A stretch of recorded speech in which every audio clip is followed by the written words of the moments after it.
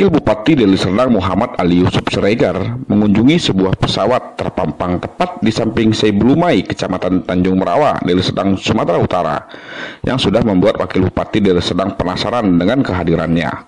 Pesawat asli yang dibeli bekas itu secara utuh tersebut ternyata milik seorang pengusaha besi dari PT Baja Agung Karisma Utama. Pesawat yang masih utuh beserta ketiga rodanya dan ratusan kursi di dalamnya dibeli langsung oleh Awi, seorang pengusaha besi PT Baja Agung Karisma Utama. Pesawat tersebut ternyata milik maskapai Jatayu Airlines yang berjenis Boeing 737-200 berwarna putih warna biar persis di samping Seibulmai, Kecamatan Tanjung Merawa, Deli Serdang, Sumatera Utara. Wakil Bupati Deli Serdang sekaligus mantan camat Tanjung Merawa ini langsung meninjau sampai ke dalam pesawat untuk melihat secara langsung kondisi pesawat yang terpampang di Kecamatan Tanjung Merawa dan pesawat tersebut sudah menjadi salah satu ikon di Kecamatan Tanjung Merawa. Ali Yusuf Seregar mengungkapkan dengan adanya bangkai pesawat utuh tersebut, berharap anak-anak yang di sekolah di dunia penerbangan dan mekanik pesawat dapat datang dengan tujuan agar anak-anak yang sekolah dengan ilmu kejuruannya mengetahui secara rinci besaran pesawat, besaran sayap dan roda dari pesawat tersebut. Saya uh, sebenarnya uh, baru sekali ini kemari setelah pesawat ini mungkin sudah ada beberapa tahun berada di uh, pinggir sungai dan jembatan Tanjung Merawa.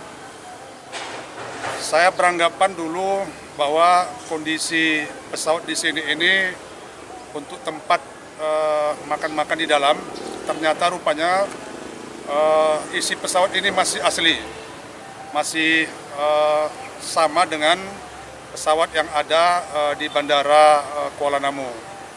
Harapan saya ketika berbicara dengan uh, Pak Awi sebagai pengusaha, uh, pesawat ini bisa menjadi pertama ikon Tanjung Merawa, yang kedua bisa menjadi edukasi bagi pelajar-pelajar yang memang uh, belum pernah melihat uh, bentuk pesawat bagaimana, ban pesawat bagaimana, dan uh, di dalam juga uh, kursi-kursinya masih asli.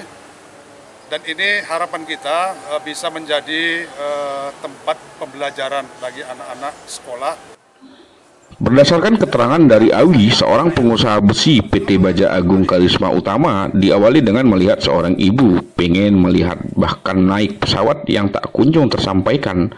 Maka tergugahlah hati seorang pengusaha tersebut untuk menaruh pesawat di Tanjung Merawa yang sekarang sudah menjadi destinasi wisata bagi warga Tanjung Merawa untuk menjadi spot foto.